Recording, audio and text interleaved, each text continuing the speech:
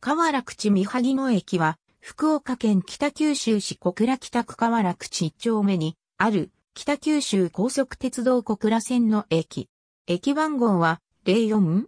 付近の三萩野バス停とともに乗り換え地点としても機能している。相対式2面2線のホームを持つ高架駅である。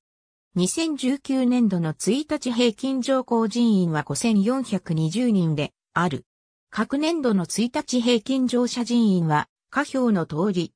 AB 曽根悟、週刊歴史で巡る、鉄道全路線公営鉄道、私鉄30号モノレール、新交通システム、工作鉄道、朝日新聞出版分冊百科編集部、朝日新聞出版、週刊朝日百科、2011年10月16日、10ページ。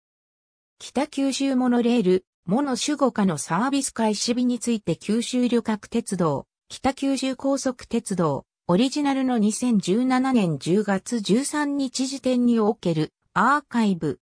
https コロンスラッシュスラッシュウェブドットアーカイブドット org スラッシュウェブスラッシュ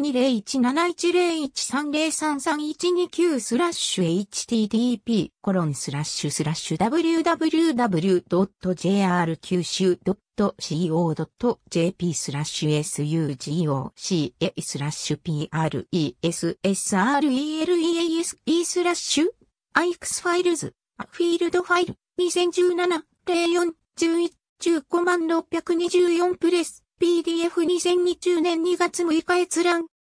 河原口三萩野駅でのバスモノレールの利便性向上について、北九州高速鉄道、西鉄バス北九州、